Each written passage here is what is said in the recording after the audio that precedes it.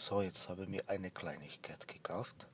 Drei Topfen Collagen und halbe Liter Kakao um 6,50. Das geht, oder? äh, dies gilt auch für die Fußgänger und so weiter. Also, bei diesem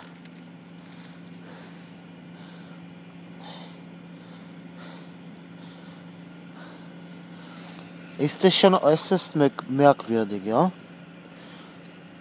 Und zwar nicht Staub, ja, Festpartikeln, ja, sondern Flüssigkeiten, ja.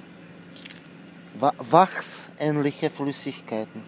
Ist kein sauberes Wasser, ja, sondern da sind in dem Wasser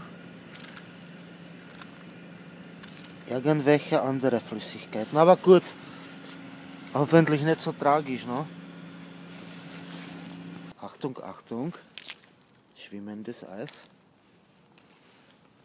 Ja. Na, gestern habe ich zum Beispiel nicht aufgepasst. Ja, das ist abgerutscht.